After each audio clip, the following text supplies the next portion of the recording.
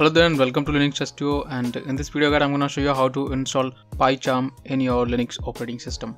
So it doesn't matter which one you are using, just follow along. So as a developer you really want an IDE uh, that will make your job really easy. It should have all the functionality, all the features and it should make your work more productive and that is what PyCharm does a simple search on the web will pop up the JetBrains official IDE. Simply click on it and download the package file for PyCharm. It comes in two variants, one is the community edition and one is the professional. This one comes with a free trial, after that you have to pay. I'm gonna use this one, the community edition. So click on it and it should start to download the file. After getting the bundle file, you just have to extract it. Right click and extract here.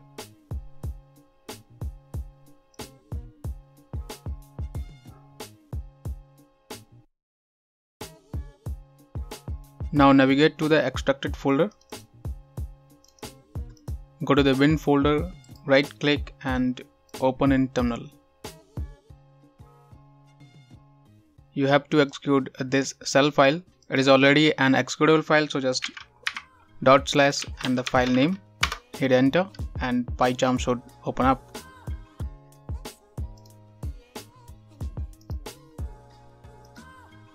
And choose do not import settings. Now this is asking for the activation and this is because the archive file was for professional edition. So I'm just going to click on evaluate for free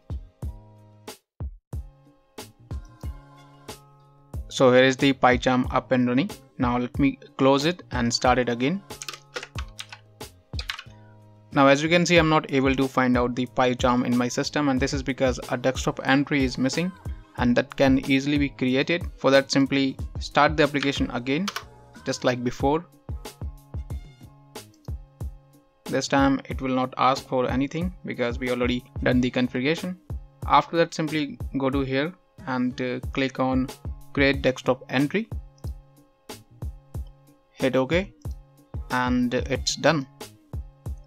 Now if I close it from here now I do not have to start it from the terminal. I can simply search for it and uh, hit enter. And it will open up the PyCharm in my system. Let's create a project